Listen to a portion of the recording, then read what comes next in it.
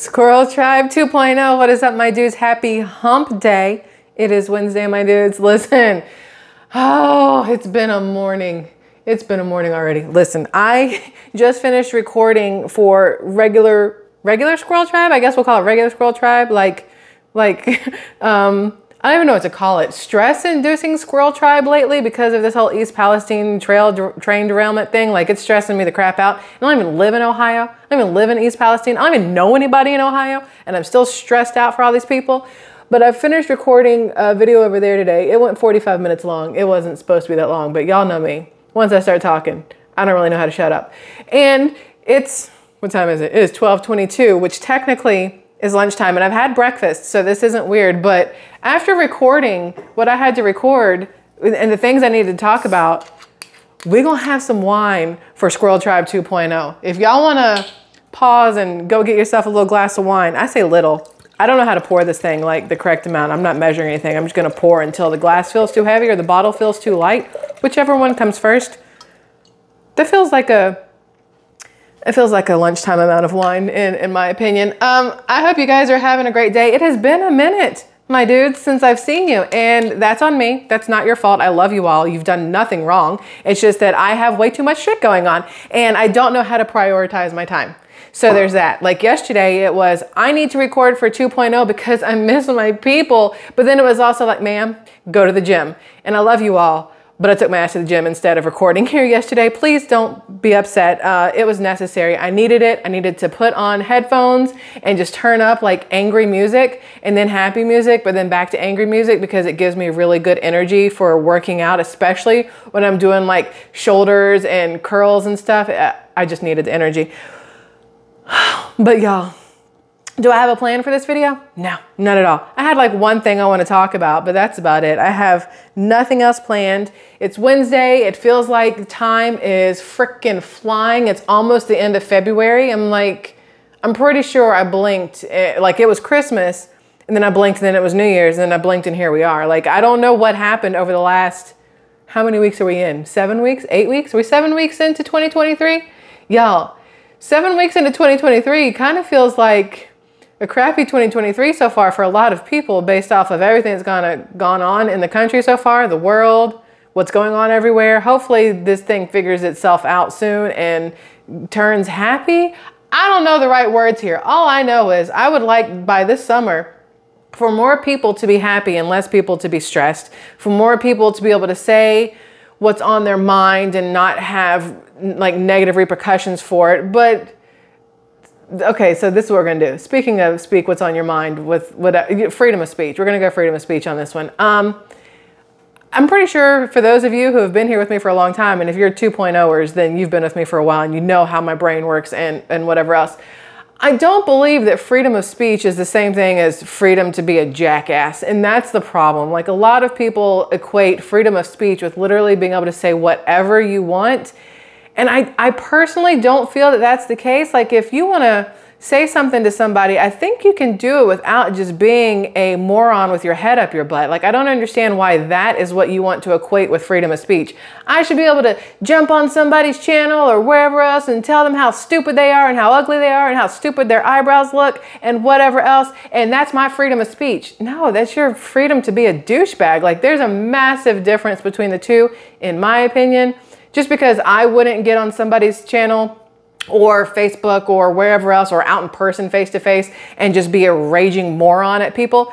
Maybe because I was raised with manners and, and, things like that, and a lot of these people weren't. But there's a there's a massive difference between saying something to get your point across and then just saying something to be a douchebag. Like, you know what I mean? There, there's a big difference. But the reason I thought about this is because I saw this article. This actually came out on Saturday I'm gonna read you the title to this, and y'all are gonna be like, what? And I'm gonna be like, I know. And then we're gonna be like, what? Okay, here's the title ACLU hails first after school Satan Club uh, meeting at Virginia Elementary School, a victory for free speech and religious liberty. I'm gonna take a sip of this now after reading that because it's necessary. Hold on. Mm. Mm. I choked myself. Hold on. I got so excited about how good it tastes. Oh, breathe. That's what happens. when you're too excited about wine at 12:30 on a Wednesday. So I haven't had this in like two weeks and it tastes so good. But anyway, after school Satan Club. Now, I was gonna say let's be devil's advocate, but oh, that's punny, right? That's like an unintended pun. But let me read this to you. Let me show you this picture first because the title itself is disturbing in all honesty, whether you are religious or not. Whether you can be whether you are Christian, whether you're Catholic, which I think goes to the same thing. I don't understand, I'm not gonna lie. You got Methodist, Protestant, you have um uh, uh, Baptist, you've got Catholic, you have Jewish, you have, um, there's so many others that I can't think of right now. Yo, what's the one I'm trying to think of like the most? I can't think of it. I need more wine. I can't think of all of them. There's there's a, there's a bajillion different religions out there. Are they all considered Christian? Like is Christianity the the like umbrella and everything else is the underneath, or is Christianity part of the underneath and the umbrella is just no umbrella? Ha- help me, tell me. Y'all, y'all probably know. I'm not 100% positive here. I went to a Baptist church growing up. Not a huge fan of it personally. I looked into Catholic stuff because that stuff always interested me with the angels and demons and the whatnots. That always interested me. But then like the non-denominational stuff makes the most sense to me and and whatever else. But the whole point in this is that you you can be atheist, which where you don't believe in anything, and I, they give that that word a bad a bad meaning in my mind because just because you don't believe that there is a higher power I don't think makes you a bad person. And I don't think believing that there's a higher power makes you a bad person. Everybody can believe or not believe whatever they want. That is the freedom of choosing, like free will, your own choice, right? But atheists, they always give it such a bad, like, bad taste in your mouth kind of word. Whereas technically, Satan should be the bad taste in your mouth, whether you believe in all this stuff or not. Uh, but look, this is the picture. This is at an elementary school. At S.M. Williams Primary is what it looks like. Y'all, how? Nope. Hold on. Screen. Here we go. Y'all, y'all, do like, do you see this? Okay. so my kid's in middle school, and I had to ask her. I was like, uh, kid, what kind of like after school clubs and activities do you guys have there that maybe I'm not 100% aware of? And she's like, I don't know, all the ones that were at sign up. And I was like, have they talked about any other kind of, you know, after school or before school or at midnight on Friday the 13th clubs that I might not be aware of? And she's like, like, what are you talking about? I was like, are there religious clubs at school? And she's like, no. I was like, are there like dark arts clubs at school? And she's like, you mean like Harry Potter? And I was like, yes, like Harry Potter. And she's like, no, there's none of that. And I was like, okay, cool, because I have to like yank your little ass out of there real quick. But so students at a Virginia elementary school attended their first after school Satan Club meeting on Thursday. The club is sponsored by the Satanic Temple. Okay. The ACU called it a victory for free speech and religious liberty. Students at a Virginia school held their first after school Satan Club meeting on Thursday after being put on hold for months, the American Civil Liberties Union of Virginia announced. The meeting at BM, BM Williams Primary School in Chesapeake, Virginia was held despite efforts by some to shut down the club and prevent it from gaining equal access to school facilities, the ACLU said, describing it as a victory for free speech and religious liberty. Now, before I go any farther, um, no pun intended here, devil's advocate, or look at it from the other side.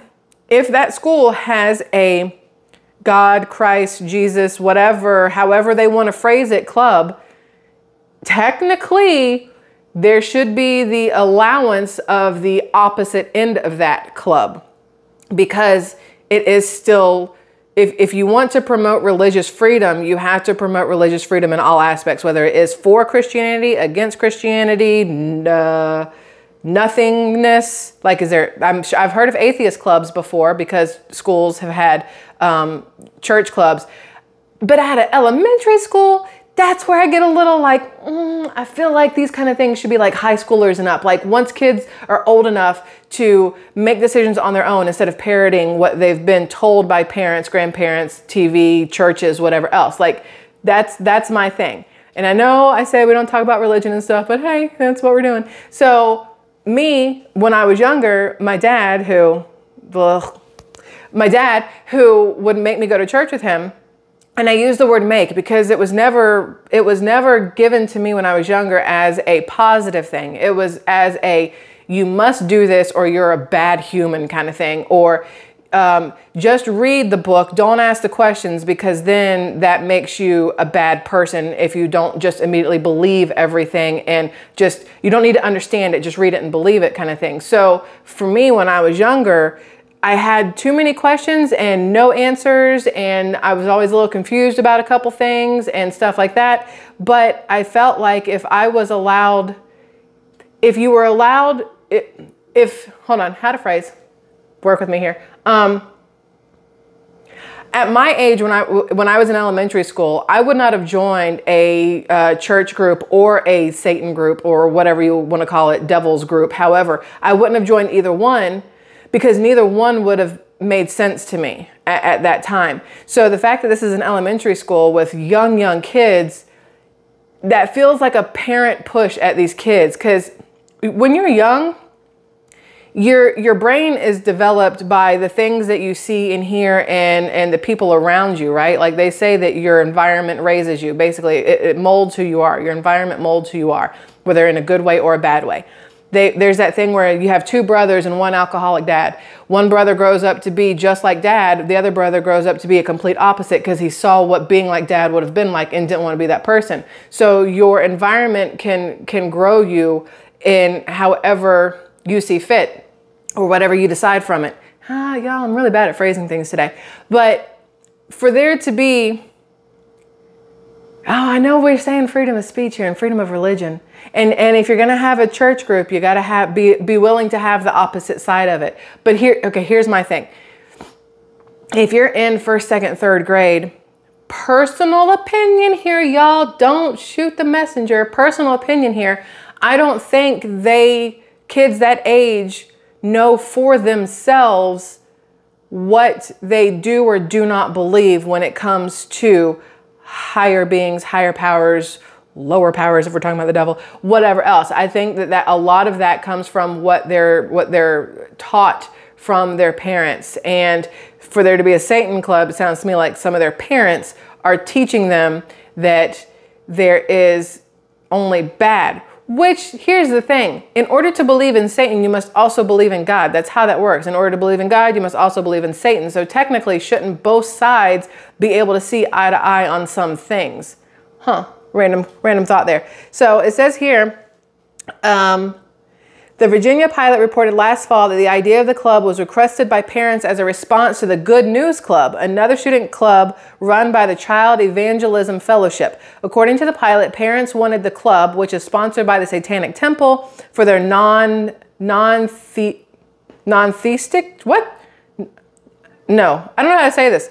Atheistic, non non theistic. What is this word? N O N T H E I S T I C non-theistic children? That just sounds like a dumb made up word. I know it's not but it just sounds really dumb coming off my tongue. So June Everett the after school satan club national campaign director previously told the pilot that the club only operates in schools where parents request them and other religious groups are already operating. So at least there's that. They didn't just bring satan into the school without god being on the other end right? I guess there's that. Um, where the group said students in the club will do arts and crafts puzzles and science projects.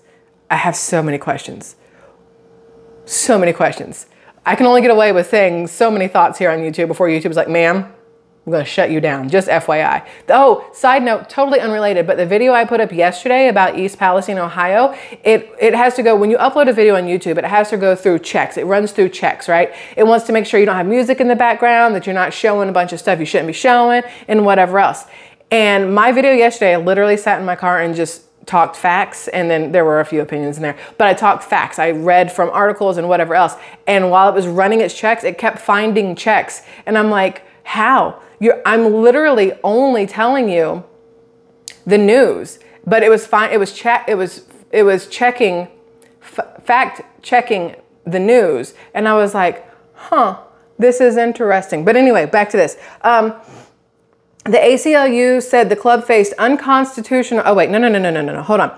The group said that students in the club will do arts and crafts, puzzles, and science projects.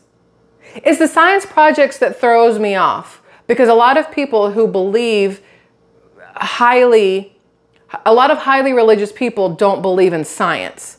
And that may be generalizing, and I'm not trying to generalize, just what I have come across is that a lot of highly religious people don't believe in, in science. So science projects is weird to me. And then arts and crafts, like what, like clay, clay horns. Like I don't know what that means. Arts and crafts. okay, we aren't sacrificing goats or praising the Dark Lord. Everett told the pilot. Yeah, well, wait to be seen. Uh, hopefully not, but um, the ACLU said the club faced unconstitutional challenges over the past few months. While the Good News Club was able to meet immediately after school and did not face a security fee, the ACLU said Chesapeake Public Schools initially requested the Satanic Temple pay a security fee over safety concerns from protesters. Additionally, the school system asked the group to meet at 6 p.m. and not immediately after school. Mm-hmm. Hmm. Mm-hmm. I have thoughts on that. I haven't read this yet, by the way. This is what I like to do. Y'all know this. I go into these things blind and we talk it out. So here's my thought. Are you ready? Again, I hope y'all still love me after we're done with this. So here's my thought. Maybe you don't even like me to begin with, and that's why you're here, just so you can jump in the comments and be like, you suck. Whatever, it's okay too. So freedom of speech, right? Um, okay, so here we here we are. The Good News Club was able to meet immediately after school and did not face a security fee, right? Because I don't know why. But they said that the Satanic Temple had to pay a security fee over safety concerns from protesters. Do you know who the protesters would be? The same ones who are probably in the Good News Club. And they, so the security fee is because they were worried that the flip side of the religion, the, the ones for God and Jesus, as opposed to for Satan, devil, whatever, for him would cause an issue while protesting, would cause damage and physical harm. You'll hear that, right? That's what that says. That's how I read that. That's why they needed a security fee to cover whatever the protesters would have damaged during their protesting, which is saying that they believe that the the good side of the religion would be um, what's the word uh, would be angry and willingly cause damage out of their anger. Mm, okay. Additionally, the school system asked the group to meet at 6 p.m. and not immediately after school. Well, I can tell you why not immediately after school because they let the what is it called? The Good News Club, the the the good the good ones, the bad ones. I don't I don't want to name it that way.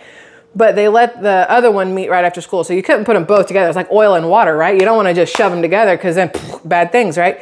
But waiting until 6 p.m., I'm like, well, don't you need like darkness and fires and stuff like that? But I'm pretty sure that's like Wiccans and witches, not just Satan worshippers. I don't know how this works. Never been a Satan worshiper, just FYI. So I don't know how it all works.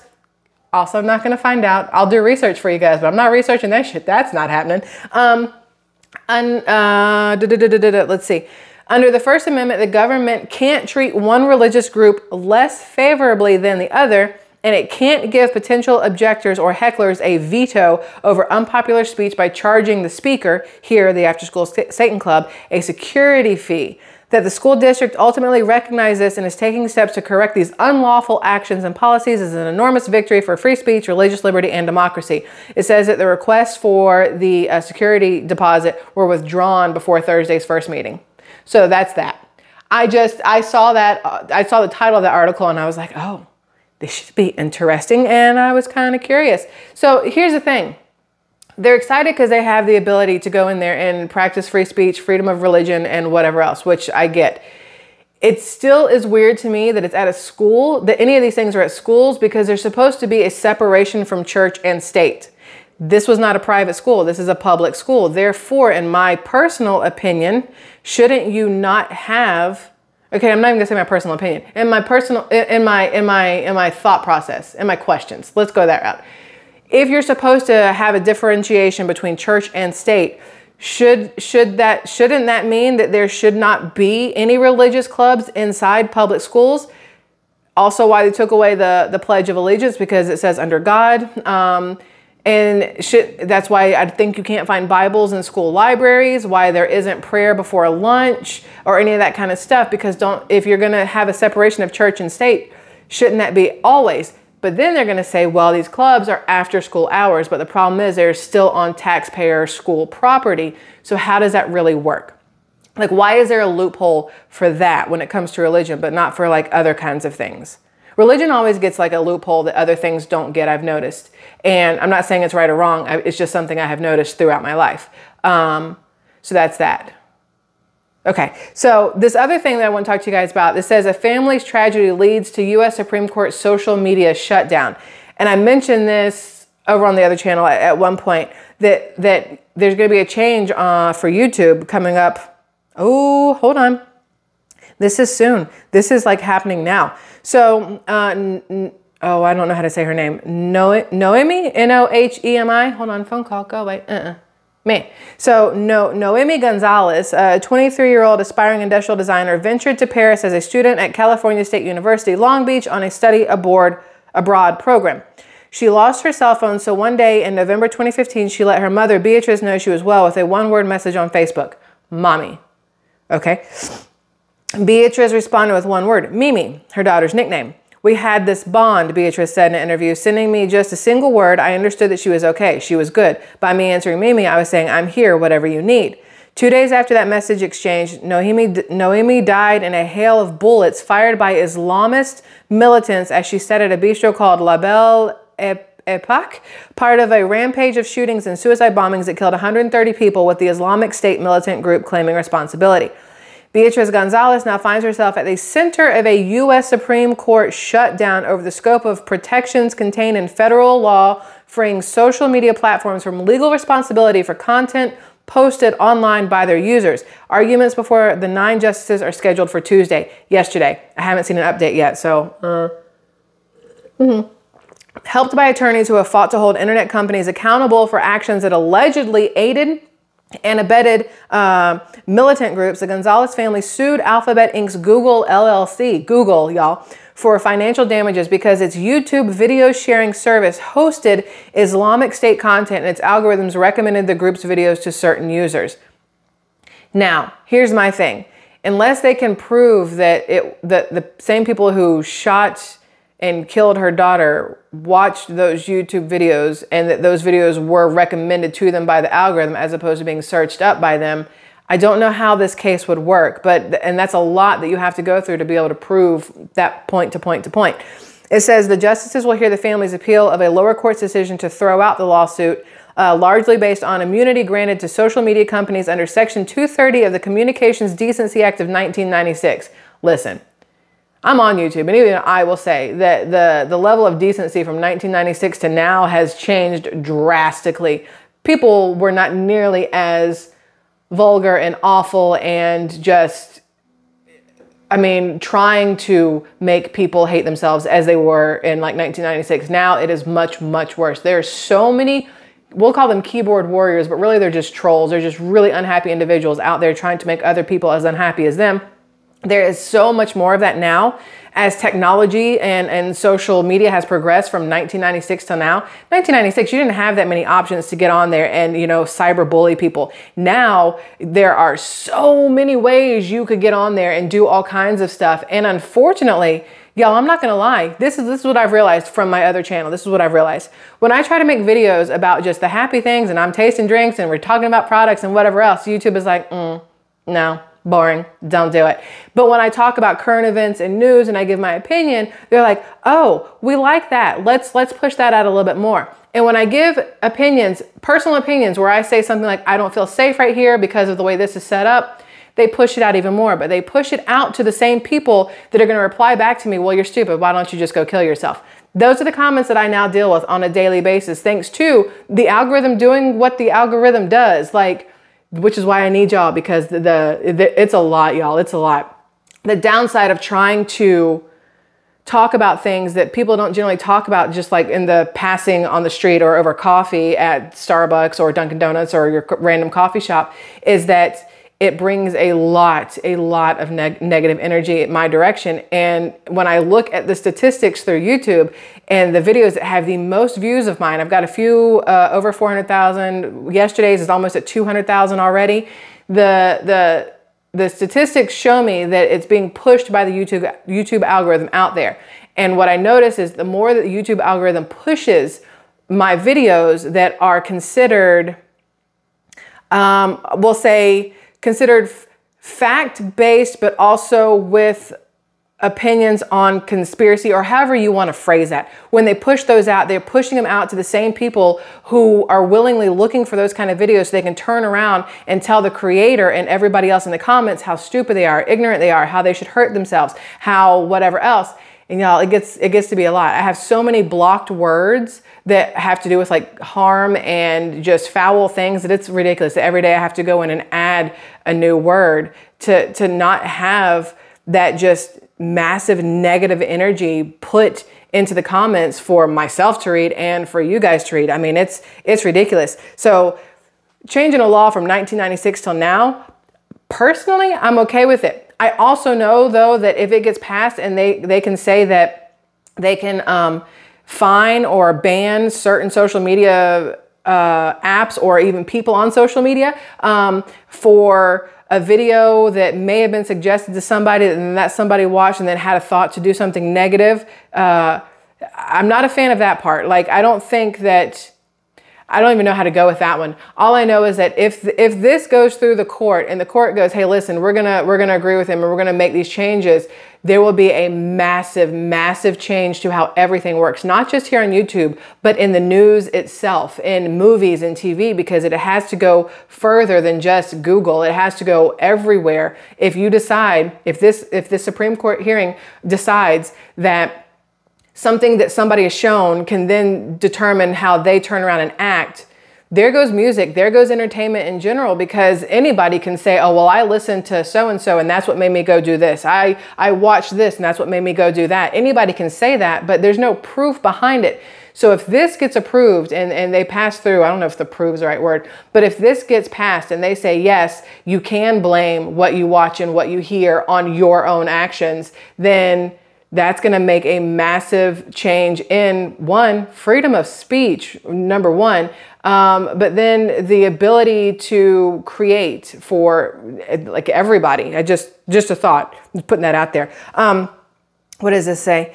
Uh, where where are we? Hold on.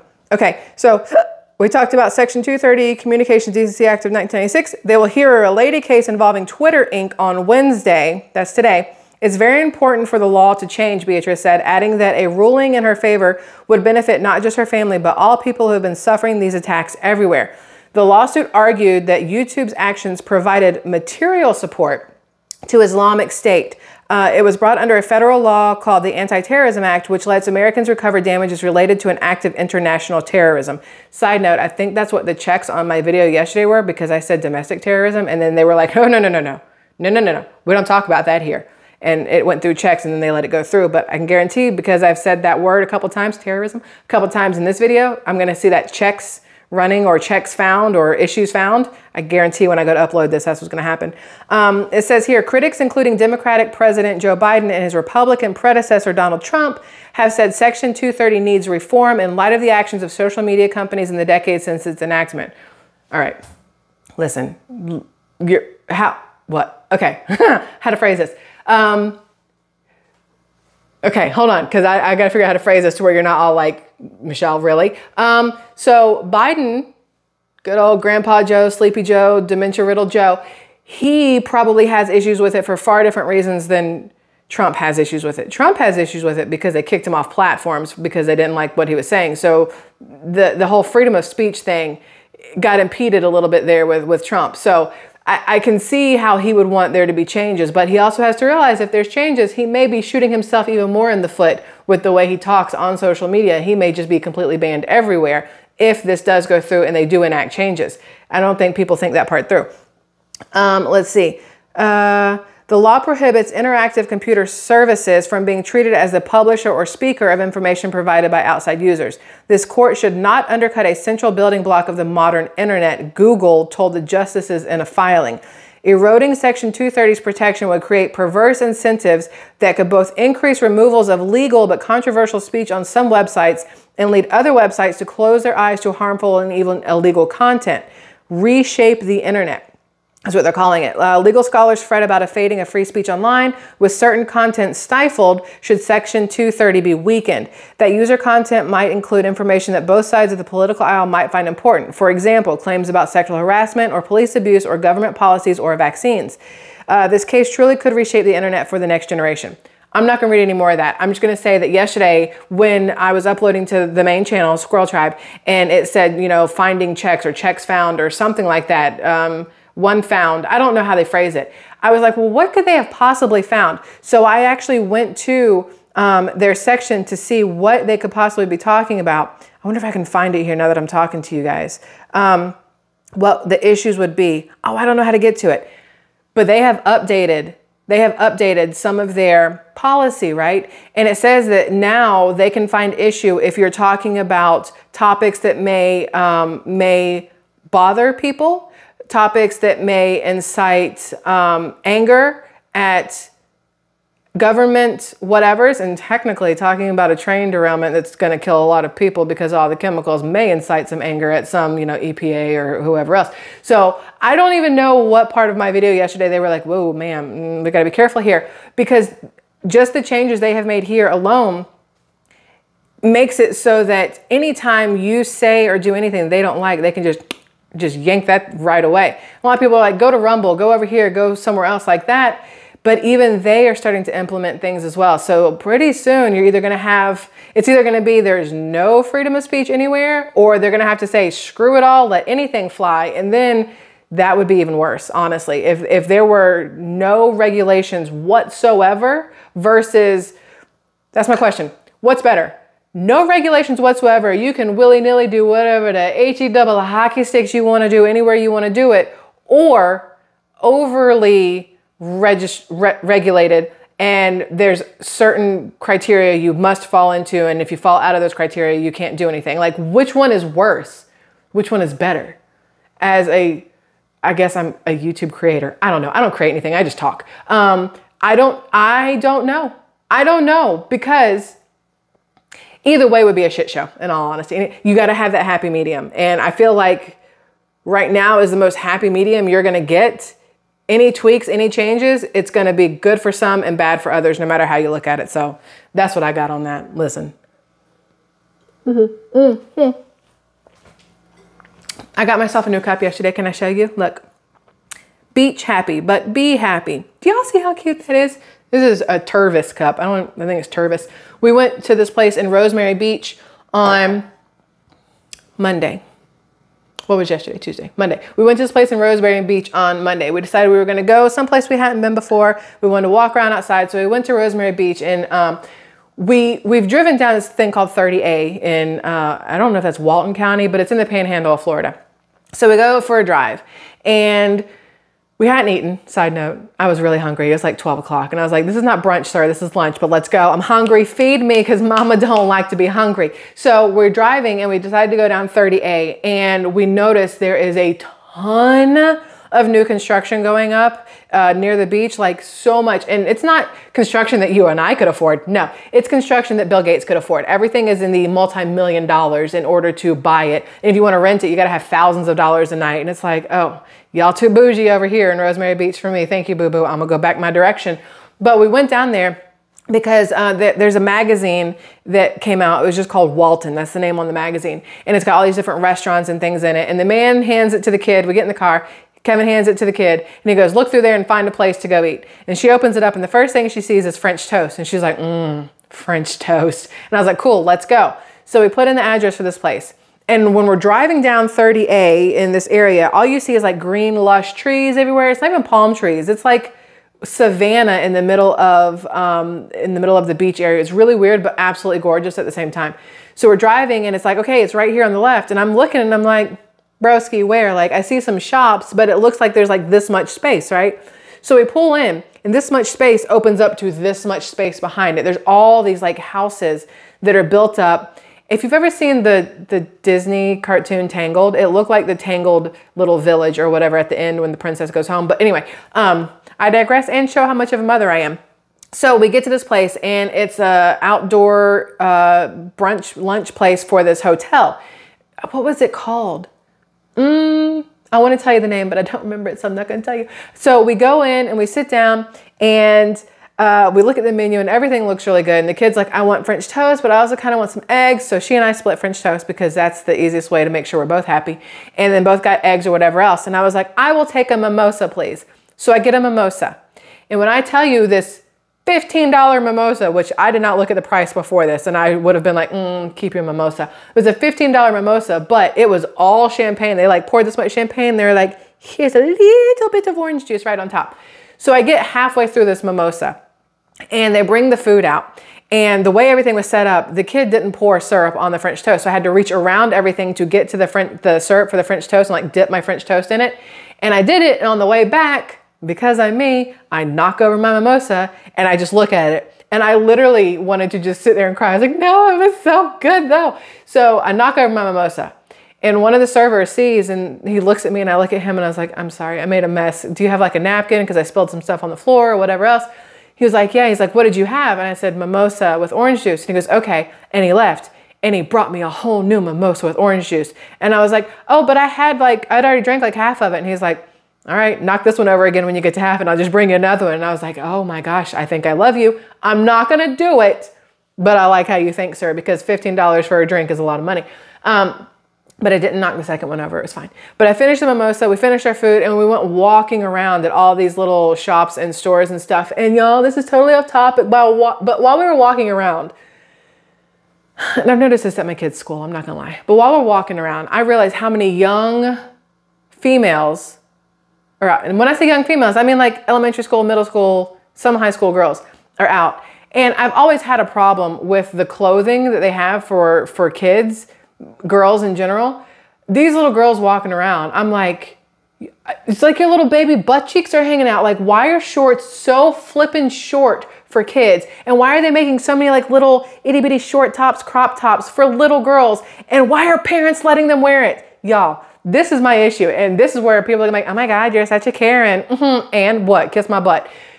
I have a massive issue with the parents that are more interested in putting their kids in name brand clothes and looking cute so they can go out and be all cutesy together than, I don't know, protecting them because as much as we say it's not, it doesn't matter what you dress like, people should keep their hands to themselves, their eyes to themselves what you wear does matter. Unfortunately, it does matter. I'm aware of this as a 41 year old woman who has boobs and who has a butt and has some shape to her, although that shape has put on some pounds lately. But I understand how this works. My daughter is only 13. Most people are going to think she's 18 because she got a butt and some boobs and a cutie duty little face on her. I am very aware how what somebody wears determines how people look at them, which is why y'all look. I dress like a homeless schlub all the time. I wear sweatpants and t-shirts and no makeup and my hair in a bun. Don't look at me. I don't want your eyes on me. Uh-uh. Keep walking, Joe. So these little girls walking around in these like barely their clothing while their moms just prance around next to them, I have an issue with. And if you're the mom who lets her kid dress like that, I don't understand why. I don't understand why. Is it because you want to be friends with your kid or is it because you Nope, that's the only reason I could think of. I have no other reason why you would let your kid walk around looking like they're 21 in a nine year old body. Like, why why? And people are like, well, you can't find them clothes. Yes, you can. Stop shopping where you shop. Go shop somewhere else. Hand make that shit. Joanne's Fabric just opened up. People are like, go learn how to sew. I'll go learn how to sew some longer shorts so my kid's butt stays in her shorts and not out in the streets where people can see it. Like, I have issues with that. Okay, sorry. That's one of those topics that I get a little on because boys don't have that issue. I mean, no, everything on a boy. I buy my kids shorts from the boys department. She can thank me later. Mm-hmm, you're welcome. One, your thighs aren't going to rub together because now your shorts are long enough to cover them. Two, your butt's not going to hang out because your shorts are long enough to cover them. Three, that's it. We only needed one and two. Three wasn't even necessary. But same thing with shirts. I wear men's shirts. I don't wear women's shirts. You know why? Because they're designed to be like form fitting. Don't look at my form. My form, this is why I record like this. This is why my shirts all come up to here. Like you don't need to look at my form. My form is not your business. So I don't I don't put it out there like that. Even in the summertime, I I, I have a, I have a hard time wearing certain things just because I'm as you get older. Well, actually, as I get older, I probably won't get hit on nearly as much, which is great. But it, it gets a little old uh, for a female constantly having dudes like, "What's up?" And then the the lip lick. Oh, my kid does this thing. She's like, "What's that thing where guys are like, why do they do this?" They're like how you doing? I'm like, stay away from those boys. Any boy that rubs his hands and licks his lips while looking at you, go the opposite direction immediately. Thank you so much. So that's just a random thought I wanted to share with you guys. I think that's about it. Listen, we've been here long enough, right? No, 40 minutes? I could do this all day, y'all. You don't want me to do that though. Mm-hmm. Nursing the hell out this glass of wine for y'all, just FYI. Um, no, I think that is it. Hey, look, look at my little pop socket. I want to show you guys. The book was better. I have yet to see a movie that I felt was better than the book.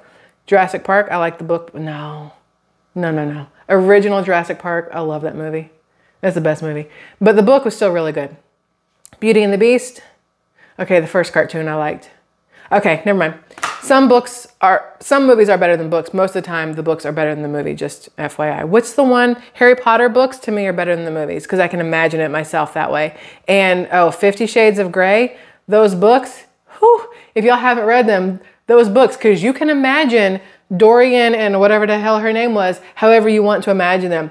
He, you know, however he needs to look, however she needs to look, and then you read those books, you get a little flustered. I'm just saying, have it with a glass of wine and ladies, just ooh. But then the movie came out and I was like, ew. Like, really? This these are the two you want to put together for this hot, steamy, wow kind of stuff? You lost me. I couldn't even go through the first movie. I was like, I'm done. The book was so good and the movie was so just like like when you light a match and it goes and then it just goes away. The it didn't even it just like slow whatever the whole it sucked. I didn't like it. That was me personally. But all the books, hmm, okay, those were nice. Um, think that's it, guys. I love y'all. I don't have anything else to say. I have plenty to say, but we're not gonna do anymore. Uh, I'm gonna go now and figure out where the man went because he leaves so I can record sometimes. I think he went to the clubhouse to hang out. It's nice out. So I'm gonna get him to come back, maybe finish some wine, maybe some other stuff. I don't know. It's it's hump day, my dude. TMI, I know. Uh, I love you guys. I hope you have a good rest of your day. I'm not going to promise to see you tomorrow. I can't make promises to y'all. I'm going to try.